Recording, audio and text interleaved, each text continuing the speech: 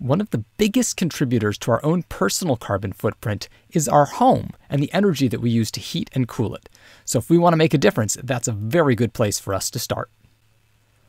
We start lesson 18 with a gallery walk where students share their PSAs from the last lesson. Students can either write comments to peers on post its or record questions in their science notebooks. After a whole class debrief, it's time to return to our unit roadmap.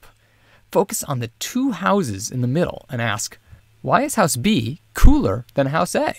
When students bring up insulation, show the various possible insulation materials that they've brought from home. Which one would be best to keep the house warm? Their next task is to plan an investigation to compare the materials. The teacher guide will get you oriented.